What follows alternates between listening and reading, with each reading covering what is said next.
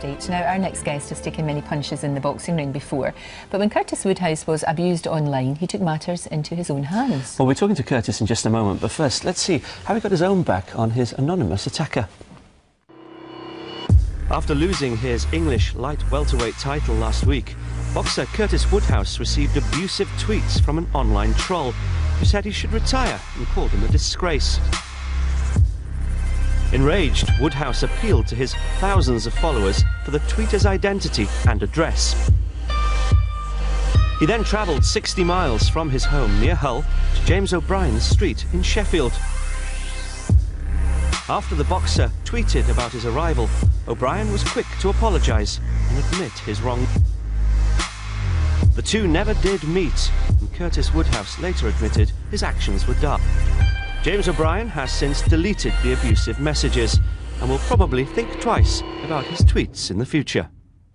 I would imagine that he would. Curtis Woodhouse joins us now. Now, I'm a huge fan of Twitter. I know you are. It's a, it's a, it's a brilliant thing. Yeah. Um, but unfortunately, there is a bit of a dark side, isn't there? Yeah, 99% of the, the things that I deal with on, on Twitter are fantastic. You know, it's mm. a nice way to reach out to boxing fans and have conversations with them. But every now and again something like this pops up. And if you are in the public eye I don't think it, it's right that you should be abused. Your family should be abused. Your children should be abused. Mm. you know I don't think anyone's got the right to do that. How long had this been going on for? Six seven eight months maybe a little bit longer. Why uh, didn't you just block it?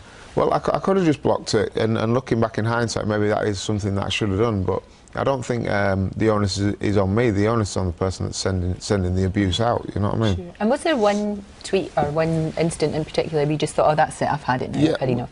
I was sat on the um, the sofa with, with a wife on on Monday, and the thing is, she sometimes uses my account as well, and she's seen this abuse, and it and it worries and scares her because we don't know who this guy is. And well, that's some, the thing. It's all some, anonymous. Yeah, and some of his threats, I don't know if he's being serious or mm. not. And I was, we were sat there Monday, and he popped up again, and I just seen her face, and I could see that she was worried. So I thought, mm. you know what, enough's enough. I'm going to put a stop to this right now. So, so you jumped in your car. Yeah. And drove to Sheffield. Yeah first of all, I put out um, a Twitter bounty on his head, um, asking anyone, offering anyone a thousand pound if they give me information of where this guy lived. Mm -hmm. And it took under two minutes. Somebody sent me a message with a phone, yeah, phone number. So I rang, um, rang the guy up. He gave me all the information. So I typed in his address into my sat nav.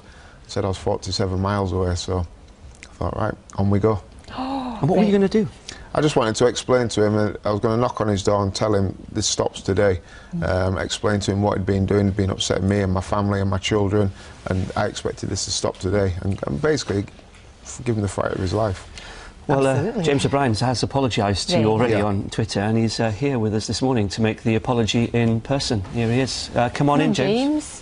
Now, this is the thing about, as we said, it, Twitter can be anonymous, but you got found out. What on earth were you thinking, sending these tweets? What was going on? I honestly don't know. I was, I was silly, childish. Uh, looking back on it, I realise I've done a wrong thing. Yeah. I, I, can only offer my deepest apologies to anyone I've abused on Twitter. Yeah. I've let everyone down, friends, family, and I do really feel embarrassed. Thing is, it's so it's so easy just to send out that tweet because you think you're never going to get nobody's ever going to know. You know, it's, it's easy to do that, isn't it? And how, how did you feel when you knew that this man was coming after you? Well, first of all, surprise because it's not your average thing on Twitter. Mm. Secondly, if I'm honest, slightly relieved I wasn't anywhere near the house. Yeah. Uh, you said you'd done it before, so, so, so, it was obviously something that happened quite often then? Uh, I have done a few, a, a, bit of abuse to other people, but I say I've read back my tweets and I feel really silly. What I've done's wrong. Mm. So what do you want to say to, to this man here?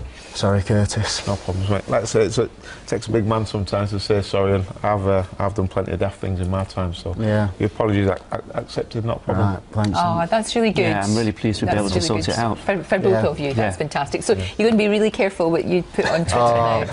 I've learnt my mistakes, yeah. nothing like this will ever happen again. Well, I know where you live now, so... yeah, there is that. He, he, actually really does know where you live as well. he really, really does. Oh, I'm so glad that it's, it's sorted, and thank you so much. And like I say, it does take a big man yeah. to apologise. Good on you. It really does. Right. Thank you both nice very much indeed. Yeah, Good you. to see you. Thank you. Coming up after the break are Gavin and Stacey.